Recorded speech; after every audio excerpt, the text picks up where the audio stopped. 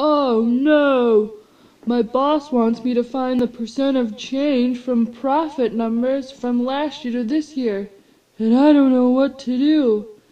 If I don't figure this out, he's gonna fire me! Ah! Here I come to save the day.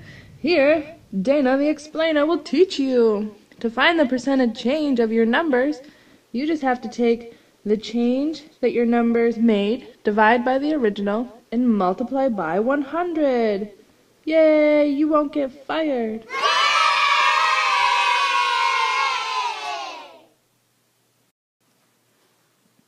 To calculate the percent of change between two numbers, you can set up a proportion. So you can look at how your numbers change. What do they go up by or what do they go down by? And then divide by whatever the original is.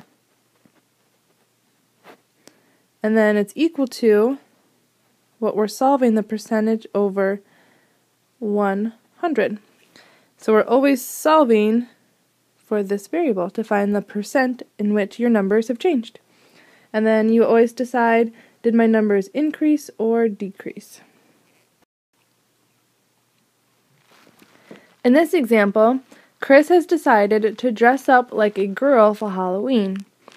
He originally is 60 inches tall.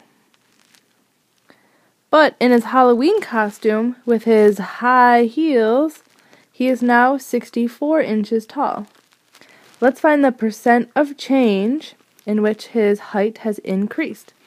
So, here's our formula. We first have to find the change. Just how much did our numbers change?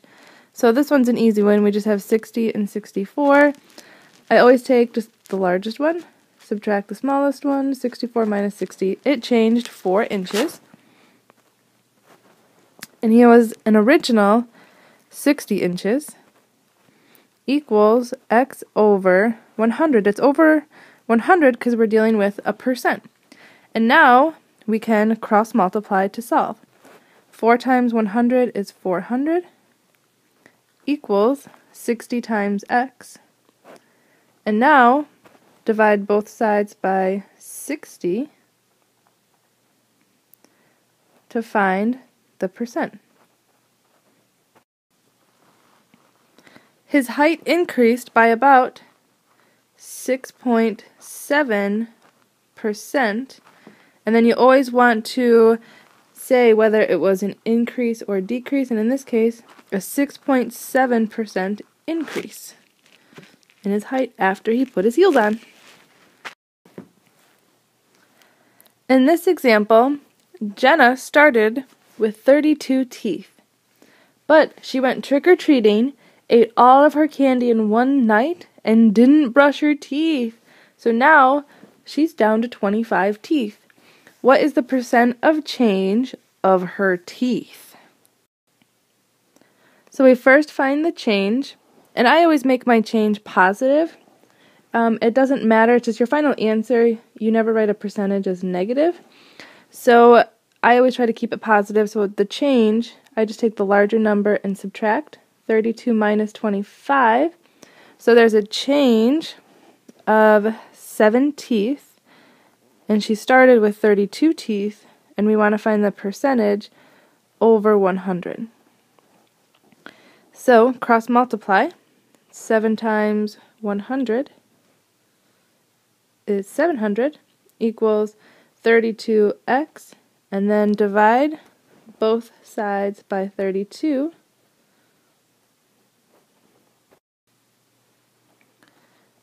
which is about 21.9 and this is a percent. And then you want to show that since the number of teeth went down that it is a decrease. 21.9% decrease of her teeth. In this example Junior took a test and he got a 66% on that test. Well Good thing he has the nicest teacher in the world, and his teacher let him retake the test. However, Junior didn't study for the new test, and he did even worse and got a 30%. Oh no. what is the percent of change of his two test scores? So from 66 to 30, if you subtract,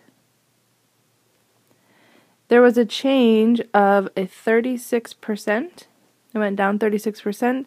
The original is 66 equals x over 100. Let's cross multiply. 66 times x equals 100 times 36, 3600. And now divide both sides by 66. Which equals a 54.5% and it is a decrease. 54.5% decrease. I hope that never happens to anyone in this class. Here we have two numbers. The original is 9.8 and the new is 12.1. I want you to try on your own to find the percent of change.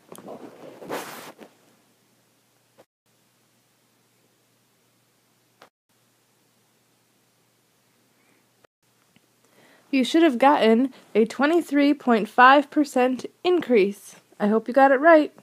Now, let's do some story problems.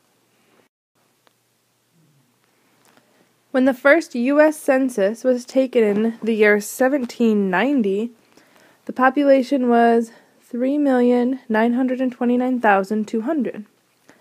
In the year 2000, the population was 281,421,906. We want to find the percent of change and round to the nearest whole percent. So, percent of change, we first need to just find the change. How much did it change by? So, we're going to subtract our original population from the first census from our new population in 2000. The change is 277 million four hundred and ninety-two thousand seven hundred and six. So we have to take that, divide it by the original, and then set up our proportion to find the percentage. Cross multiply to solve for x.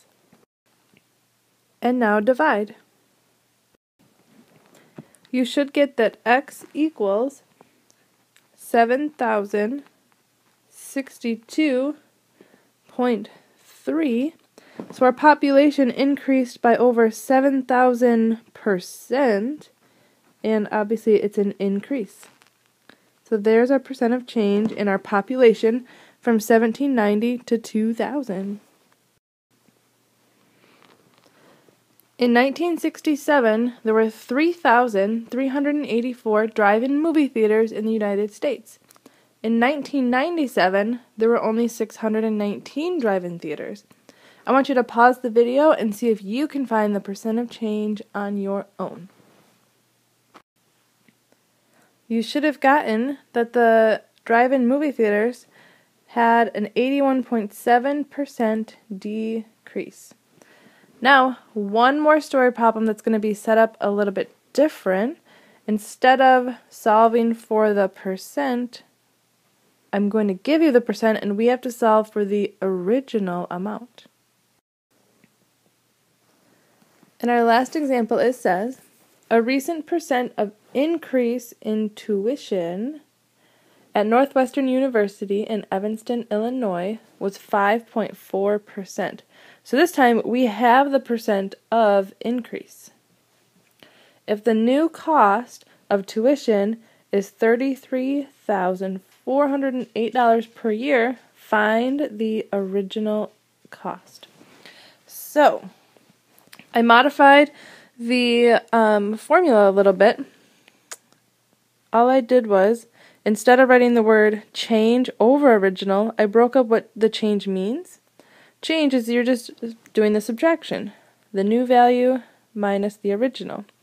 We always divide by original and then equals percent over 100. So I'm going to plug in all the information that I know and then we'll see what that looks like. The new is 33,408. We have to find the original, so minus x over the original, which is x, equals the percent, which is 5.4, over 100. So it looks complicated because we have x in two different spots, but we can cross multiply. So this is 5.4x equals 100 times that whole quantity. So 100 times 33,408 minus x. So we have to distribute the 100 and then solve from there. I now have to get my variables onto one side, so I'm going to add 100x on both sides.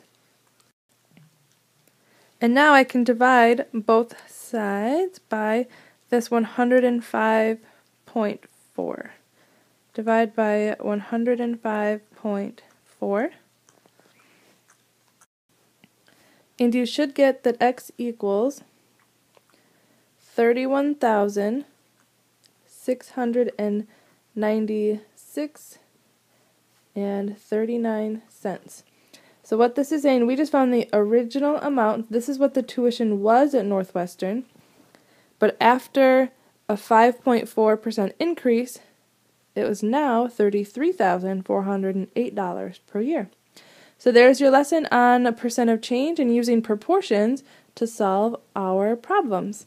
Good luck with the lesson.